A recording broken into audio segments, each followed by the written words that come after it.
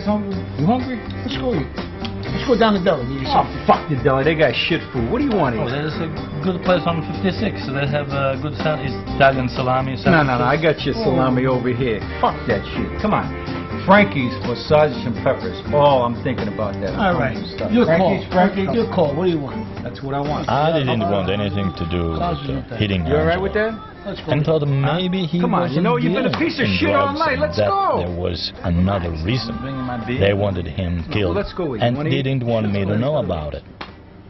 I made a lot of money working for him, and he was a good friend who always helped me out. But business was business. I didn't feel good about this at all. They came to you. He told me to come to you because you are trusted. I trusted, trust, what trusted? Everybody trusts me. But I am the guy who get his, his ass kicked. I am the guy who goes down because of so many